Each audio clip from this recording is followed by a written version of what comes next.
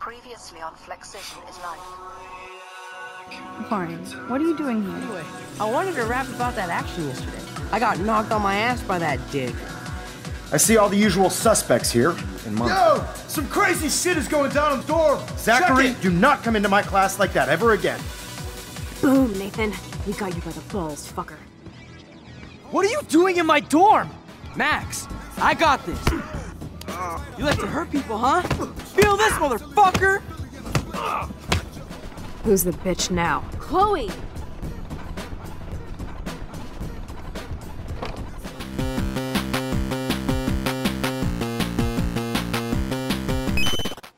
Now, I know today was difficult for any of us, but we have to go over what happened. Officer Berry will be taking notes for the official police inquiry. I'm sure you'll give him your full cooperation. Such a tragedy. But there must be a reason for everything, to such desperate action. As principal of Blackwell Academy, I take my duties seriously. I take the well-being of every student more seriously. What happened today should never happen in a hall of wisdom and knowledge. Mr. Madsen, as our head of security here, those doors should always be locked. That's just standard operating procedure. They were not, and that is indeed your responsibility. Mr. Jefferson, I know you can't be expected to know what your students are going through, so you should have known something was amiss. Mr. Prescott, since you are responsible for the Vortex Club parties, you'll have to answer some more questions.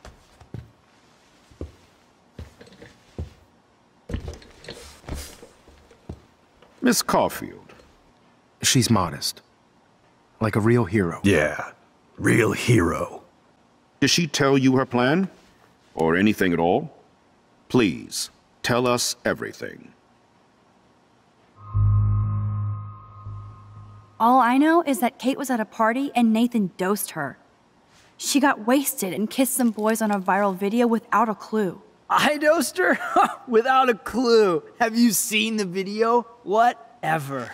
Kate was loaded and You're a playing liar. the field. You told Kate you took her to the emergency room. I said I was going to take her to the ER.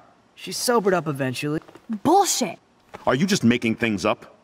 How can I trust you? I was afraid yesterday, but I have to tell the truth.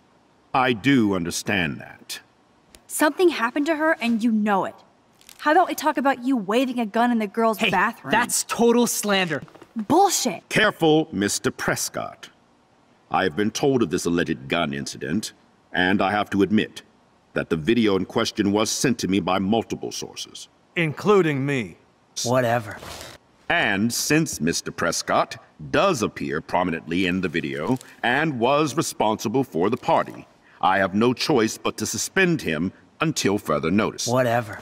See you in court. Excuse me. I think Max and Nathan need a break before we grill them. They don't need this forum right now. Yes, I'm kind of devastated right now.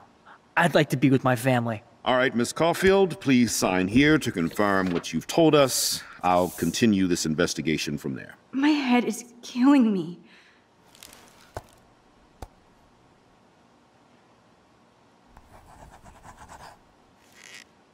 Well, I think we know less now than when we started. We'll be assisting the police with further inquiries. I know this has been a stressful day.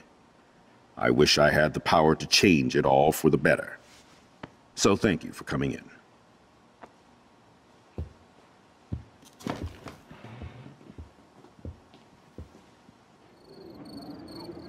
Come on, Max.